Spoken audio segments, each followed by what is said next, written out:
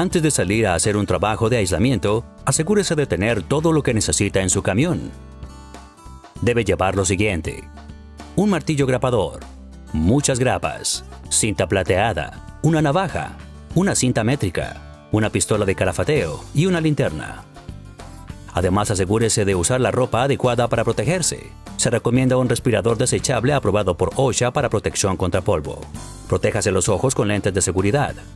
Use gorra, camisa de manga larga, guantes, pantalones y zapatos con punta rígida. Algunas obras de construcción pueden requerir el uso de casco. Enseguida, asegúrese de tener los productos correctos. Los paquetes de aislamiento de CertainTeed le dan mucha información en el frente de la bolsa y en el panel posterior. Anchura, longitud, tipo de revestimiento, número de piezas, pies cuadrados y valor R. Se usan códigos de color e indicadores para ayudarlo a encontrar fácilmente el producto correcto para el trabajo. Hay dos tipos de aislamiento de fibra de vidrio, con y sin revestimiento. El aislamiento con revestimiento tiene un retardador de vapor.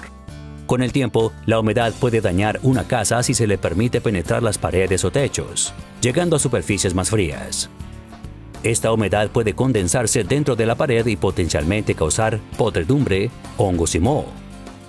Los retardadores de vapor previenen que esta humedad se introduzca a la cavidad de la pared. En la mayor parte del país, el aislamiento se coloca con el retardador de vapor hacia adentro, hacia el lado, caliente en invierno de la casa. Pero hay algunos lugares, especialmente en regiones de alta humedad, donde el retardador de vapor se debe colocar hacia el exterior. Consúltelo con su supervisor y los códigos de construcción locales para estar seguro. Hay otro punto que debe recordar acerca de los retardadores de vapor. Aunque la fibra de vidrio en sí no es combustible, los retardadores de vapor Craft estándar son inflamables. Es por esto que nunca se deben dejar expuestos. En aplicaciones donde el retardador de vapor debe dejarse expuesto, Sentit ofrece revestimientos resistentes al fuego especiales como FSK, PSK y SmartBat para estos trabajos. El aislamiento sin revestimiento se usa de una de dos maneras.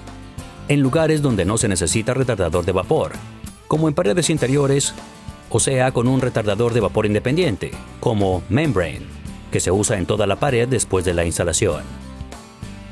Antes de empezar a aislar, asegúrese de que el edificio está debidamente sellado contra flujo de aire. Inspeccione alrededor de ventanas, puertas y áreas inaccesibles como chimeneas, insertos y espacios pequeños de ático. Si es necesario, revise detrás de las bañeras y duchas también. Para cumplir con los requisitos de los códigos para una eficiencia en energía óptima, las placas superiores e inferiores también deben sellarse. Al trabajar en un ático, determine si la casa tiene aleros de ventilación. Si es así, debe instalar deflectores.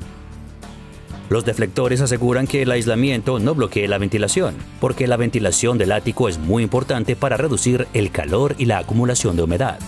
Para otras áreas de la casa, cargue cada habitación con la cantidad estimada de aislamiento necesario para esa habitación. Mantenga todo organizado y accesible. Al abrir los paquetes de paneles, asegúrese de cortar en un panel lateral de esta manera. Así es menos probable que dañe el revestimiento craft o metálico. A lo largo de todo este proceso, recuerde, un lugar de trabajo limpio es un lugar de trabajo seguro. Asegúrese siempre de que el lugar de trabajo esté limpio y libre de desechos, dejando un pasillo a fin de que las herramientas y productos no estorben. Ahora que ya está bien preparado, es tiempo de comenzar la instalación.